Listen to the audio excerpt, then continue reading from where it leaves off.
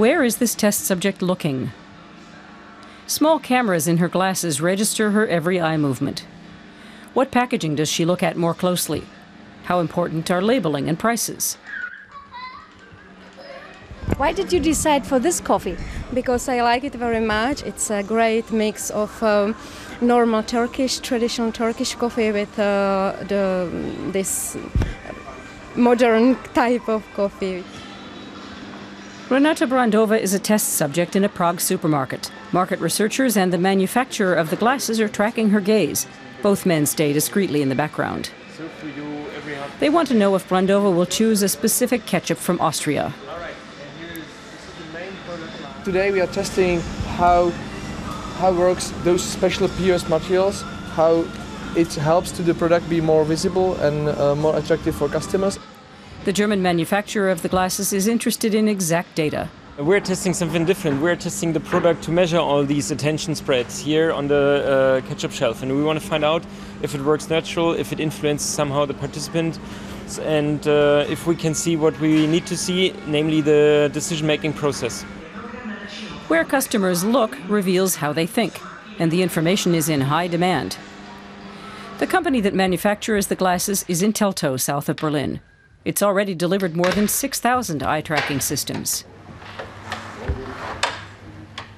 With the aid of tiny cameras, computers can also now be controlled by eye movements instead of a mouse. That requires exact tracking of when someone looks at a particular point. What exactly is the purpose of the metronome in this test? Right now, we're performing a final test on synchronicity between the scene camera and the sound to make sure they're precisely coordinated. It's the last test, then the system is packed up and sent to customers. The company doesn't let us look through the glasses. The technical details are a secret. But wearing them can reveal a lot. The company's owner and CEO explains how the device works and how eye and gaze tracking provide more precise and accurate information than surveys can. What happens to the data?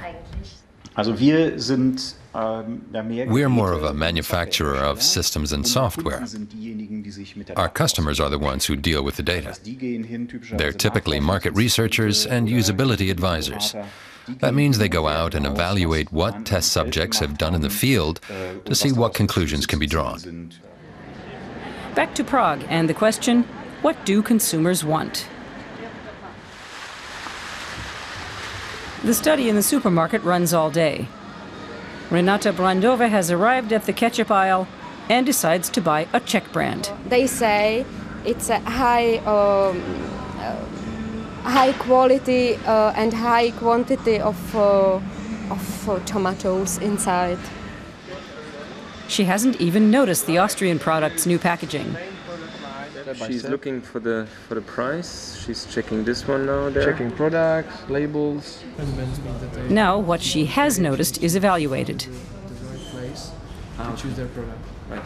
More and more uh, clients are coming for this technology, are asking about the advantage of this technology, and it brings bring us new opportunities. And uh, as I said, we have a lot of clients which are coming to us even from long distant countries. So, so I'm happy for that. Market researchers, supermarkets, and food manufacturers all want to know what really catches customers' eyes.